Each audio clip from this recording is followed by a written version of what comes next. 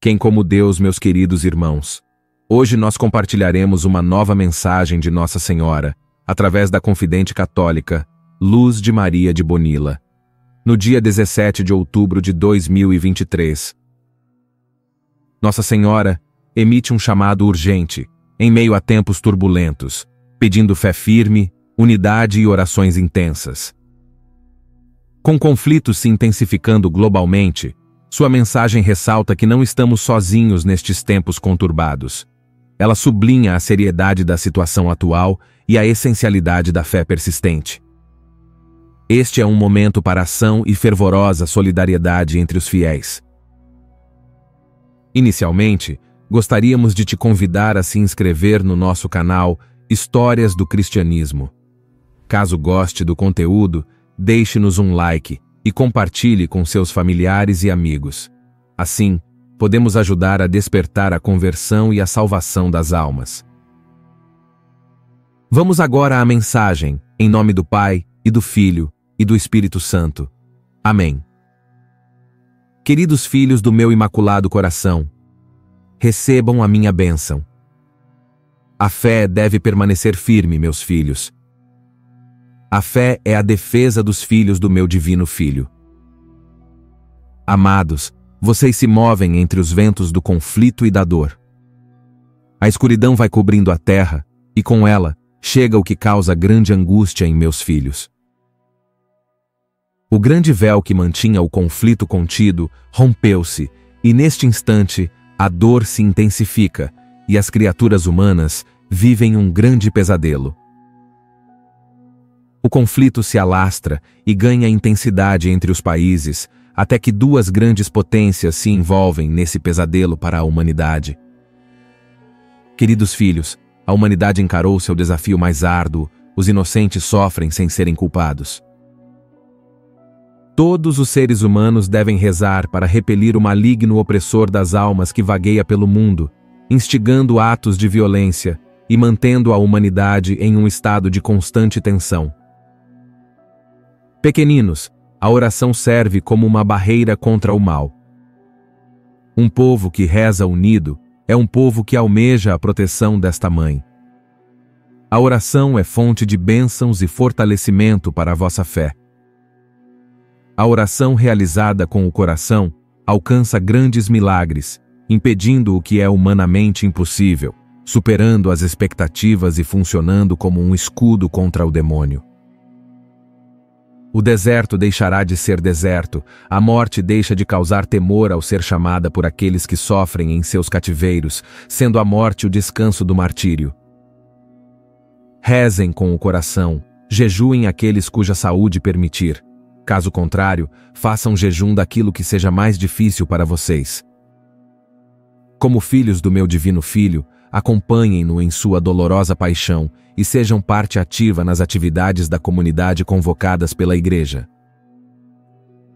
Rezem pelo Sínodo e supliquem que seja conforme os ensinos do meu Divino Filho. Rezem com o Santo Rosário na mão e o pedido no coração. Permaneçam unidos, implorando para que os planos de grupos violentos em diversas partes do mundo sejam frustrados, evitando que suas intenções se concretizem.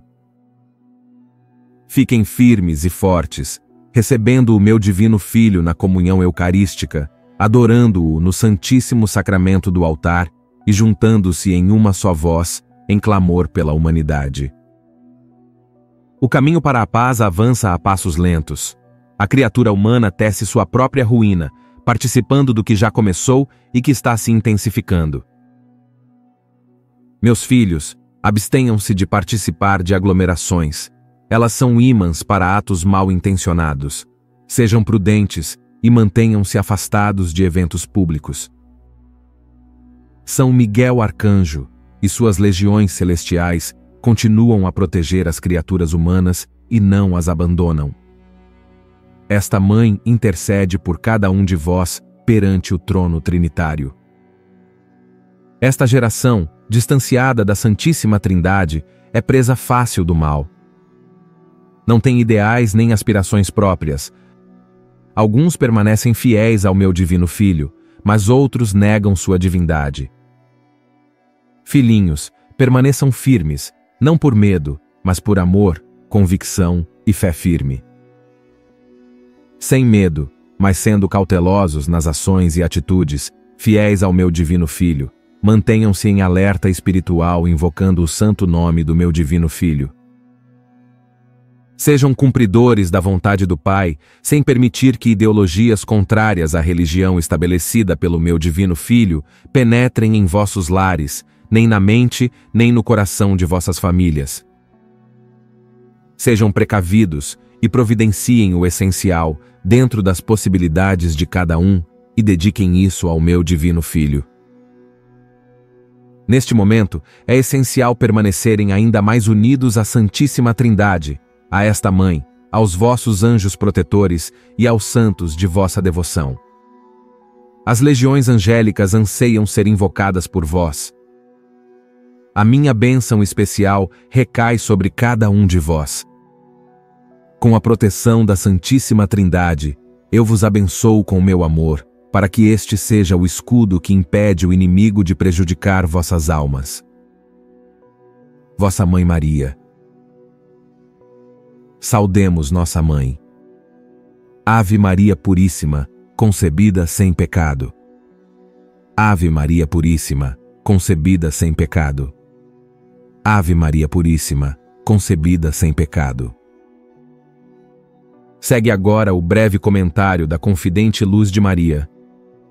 Irmãos, somos alertados e consolados por Nossa Mãe Santíssima, sabendo que no final seu imaculado coração triunfará nossa mãe nos chama à oração, a tomar medidas de proteção, a nos abastecermos materialmente, mas acima de tudo, a não permitirmos ser influenciados por ideologias que neste momento surgirão para confundir o povo de Deus. Nossa mãe nos deixa saber que esta onda que ataca o Oriente Médio se tornará um tsunami que chegará a outros países em diferentes escalas. Nossa fé nos permite continuar vivendo com a certeza de que não há ninguém maior que Deus e que sua proteção é infinita. Irmãos, a oração não é repetição, é comunicação da alma com seu Criador, é intimidade da criatura humana com seu Criador. A oração é um milagre quando se ora com a consciência de que não existem limites para sermos mais espirituais e nos unirmos mais à Trindade Sacrossanta e à Nossa Santíssima Mãe. A oração percorre a terra deixando esperança por onde passa. Amém. Meus queridos irmãos, neste mês de outubro, somos testemunhas das profecias se cumprindo diante de nossos olhos e das tribulações se intensificando a cada dia. As notícias atuais refletem a agitação e incerteza que preenche nosso mundo, lembrando-nos dos sinais dos tempos mencionados nas Sagradas Escrituras. Jesus nos advertiu: E ouvireis falar de guerras e de rumores de guerras. Olhai, não vos assusteis, porque é necessário que assim aconteça. Mas ainda não será o fim. Porquanto se levantará nação contra nação, e reino contra reino, e haverá fomes e terremotos em vários lugares. Tudo isso, porém, é o princípio das dores. Neste momento crítico, convido cada um de vocês a rezar fervorosamente o Santo Rosário. Encontramos consolo, força e orientação na intercessão de Nossa Senhora. Através da oração, podemos buscar a paz e a proteção divina em meio às tribulações que enfrentamos. Que o Rosário seja nossa âncora em tempos tempestuosos, guiando-nos em direção à luz da esperança e à misericórdia de Deus. Que a paz do Senhor esteja com todos nós. Amém. Se você gostou deste vídeo, peço que compartilhe com seus familiares e amigos, comente suas opiniões abaixo e deixe o like. Que nosso Senhor Jesus Cristo e Nossa Senhora os abençoe. Amém.